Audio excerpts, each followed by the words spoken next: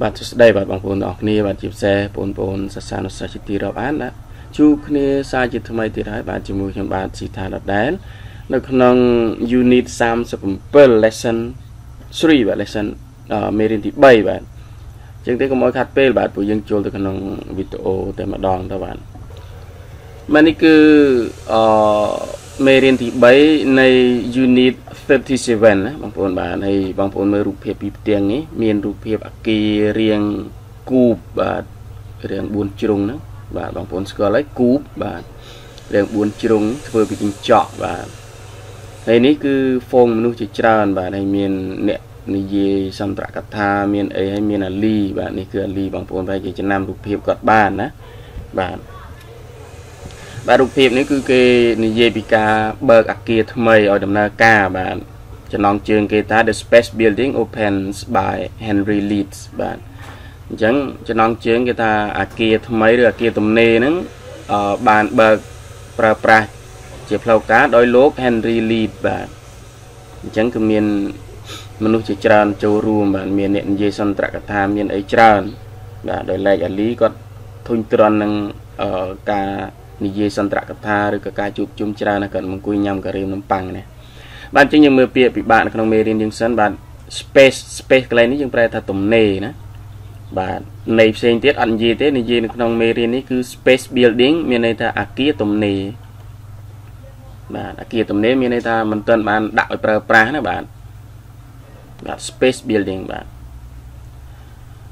បាទនេះ space building famous បងប្អូនចេះហើយណាល្បីល្បាញបាទ famous ចេះហើយ scientist បាទ scientist ប្រែថាអ្នកវិទ្យាសាស្ត្របាទ scientist បាទអ្នកវិទ្យាសាស្ត្រ architect បាទ architect យើងប្រែថាស្ថាបត្យករបាទស្ថាបត្យករគឺពួកអ្នកធ្វើសំណង់ធ្វើអីហ្នឹងបាទបាទគេហៅថាស្ថាស្ថាបត្យករបាទ diplomat បាទ diplomat នេះយើង អឺប្រែថាអ្នកការទូតបាទពួកការទូតបាទអ្នកការទូតបាទ diplomat diplomats បាទ present កន្លែងនេះយើងប្រែថាមានវត្តមានបាទ present ណាបាទ verb present មានន័យថា present ប៉ុណ្ណាថាមានវត្តមានបាទមានវត្តមានអានេះគឺយើងកន្លែងតនេះយើងអានថា Mrs បាទ Mrs បាទ Mrs កន្លែងនេះអឺប្រែថាហ្វូងមនុស្សបាទហ្វូងមនុស្សជាច្រើនបាទអសកាត់គេទេបាទ Mrs នេះប្រែថាហ្វូងមនុស្សជាច្រើន wood នេះគឺឈើបាទ wood ដុំឈើដុំអីដូចថាសំណង់វាធ្វើកើតឡើងមកពីអ្នកណាខ្លះមានមនុស្សមានឈើមានកញ្ចក់មានថ្មបាទ glass នេះប្រែថាកញ្ចក់បាទ stone នេះប្រែថាថ្មបាទ អញ្ចឹងទាំងអស់នេះចូលរួមគ្នាមកកើតជាអាគារហ្នឹងបាទបាទនេះបន្តទៅគឺ attended attended វាជាផាសទេបាទអញ្ចឹងពាក្យ attend attend នេះប្រែថាចូលរួមបាទ attended បាទប្រែថាបានចូលរួមបាទ ceremony ceremony ប្រែថាកម្មវិធីឬក៏ពិធីពិធីអ្វីមួយអញ្ចឹងណាបាទដូចពិធីនេះពិធីបើកសម្ពោធអាគារដាក់ឲ្យប្រើប្រាស់អញ្ចឹងណាបាទនេះគឺ ceremony នឹងឯងណាគឺ កម្មវិធីឬពិធីបាទ cube បាទនេះអានថា cube cube គឺគូបនេះគូបគឺរូប4ជ្រុងបាទបងប្អូនស្គាល់ហើយ cube គូបណាបាទ modern គឺទំនើបបងប្អូនចេះហើយហើយ exhibition បងប្អូនចេះហើយណាកាលពីវីដេអូមុនមុនណាបាទគឺការតាំងពិព័រណ៍បាទ exhibition បាទ crowd នេះគឺហ្វូងមនុស្សគឺយើងចេះម្ដងហើយណាពាក្យ crowd នេះគឺហ្វូងមនុស្សបាទ like crowd បាទ speeches បាទ speech ពាក្យដើមវាគឺ speech តែក្នុងនេះគឺពហុវចនៈ speeches បាទប្រែថាសន្ទរកថាបាទ speeches ឬក៏ speech សន្ទរកថាណាបាទ among among នេះប្រែក្នុងចំណោមបាទបាទនេះពាក្យ curly បាទ curly នេះប្រែថារួញឬក៏ក្រញាញ់បាទបើសក់សក់រួញបាទ curly រួញបាទ ice cream sandwich យើងប្រែថាការីមនំប៉័ងណាបងប្អូនបាទ ice cream sandwich ការីមនំប៉័ងបាទអញ្ចឹងពាក្យហ្នឹងអស់ហើយពាក្យពិបាកបាទពាក្យ boring បាទពាក្យ boring នេះយើងប្រែថាធុញទ្រាន់ឬក៏អបសុកណាបាទអញ្ចឹងពាក្យហ្នឹងអស់ហើយបាទអញ្ចឹងយើងអានតែម្ដងទៅបាទអញ្ចឹងចំណងជើងគេថា The Space Building opens by Henry Leeds lesson 3 Yesterday was the opening of the space building here at the World's Fair Many famous scientists, architects, and diplomats were present. There was something for everybody. Mrs. Wood, Class, and Stone, who are the architects of the building, attended the ceremonies. The building, which looks like a big glass cube, is as modern as its exhibitions. A large crowd listened to the many speeches of the diplomats. Among the listeners was a little boy. He was about seven years old. He was about seven years old, had curly black hair and big brown eyes, and was eating an ice cream sandwich. Are you enjoying the speeches? I asked. No, he said. They're boring. Then why are you here? Because it's not as boring as home. There you have it, another day at the fair.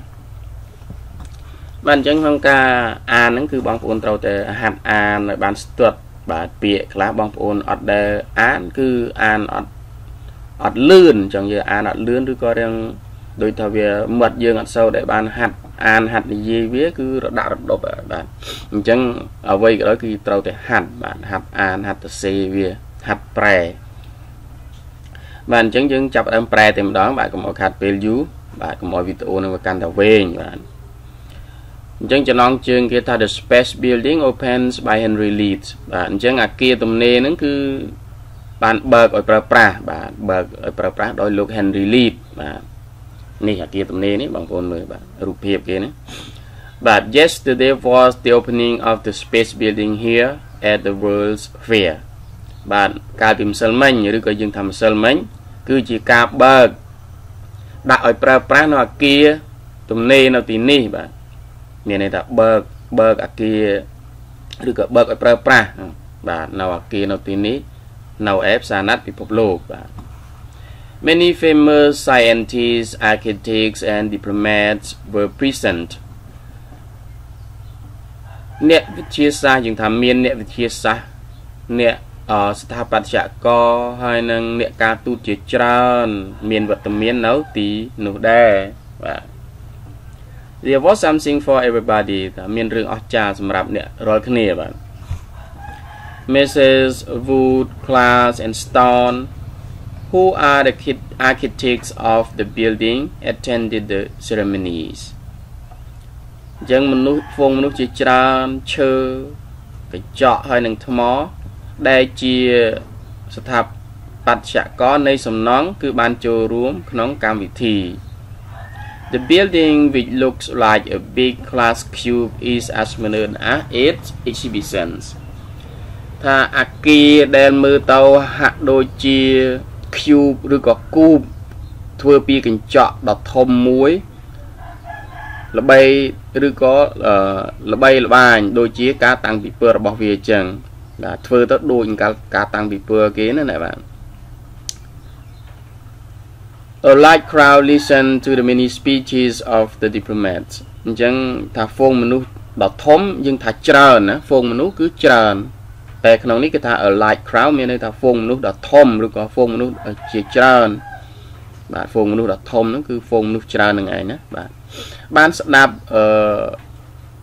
សន្ទរកថាជាច្រើនរបស់ អឺអ្នកការទូត Among the listener was a little boy តែក្នុងចំណោមអ្នកស្ដាប់ទាំងអស់នោះគឺមានក្មេងប្រុសតូចម្នាក់ដែរ He was about 7 years old, had curly black hair and big brown eyes and was eating ice cream an ice cream sandwich អញ្ចឹងគេមានអាយុប្រហែលជា7ឆ្នាំ មានសក់រួញពណ៌ខ្មៅហើយនឹងមានភ្នែកធំធំព ណ៌ត្នោតកំពុងតែញ៉ាំការរៀមនំប៉័ង